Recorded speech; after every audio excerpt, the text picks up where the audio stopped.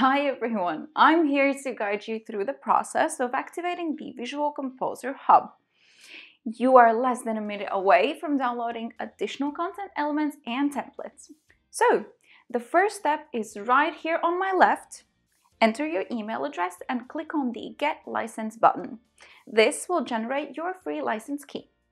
And here it is. Now you just have to copy it. When that's done, simply go back to your WordPress dashboard paste the license key and click on Activate.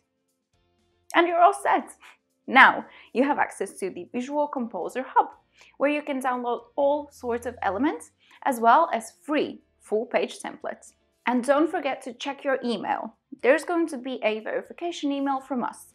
You'll need to verify your email address so that the license you just activated is added to your My Visual Composer account, where you can access and manage licenses or upgrade your license type.